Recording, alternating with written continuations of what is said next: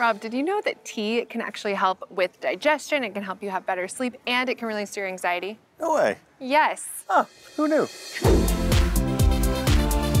When you hear things like peach cobbler or white raspberry champagne, the last thing you're probably thinking about is tea. So today we're visiting Tarm Tea to change the way you think. I feel immediately so relaxed walking into here.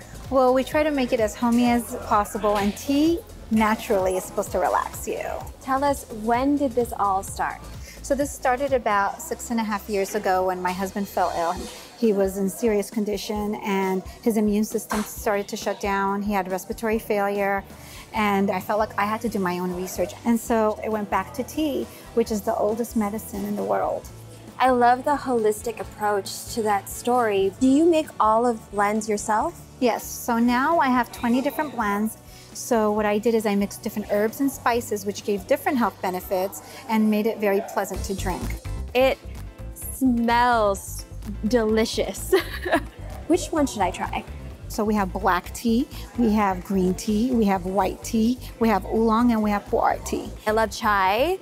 Yes. Do you have a chai? I do have a chai. It's actually really good for inflammation. It smells very exotic and fresh.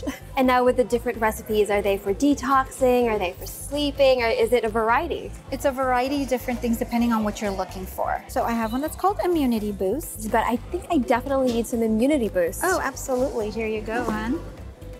Awesome. Thank you so much. You are very welcome.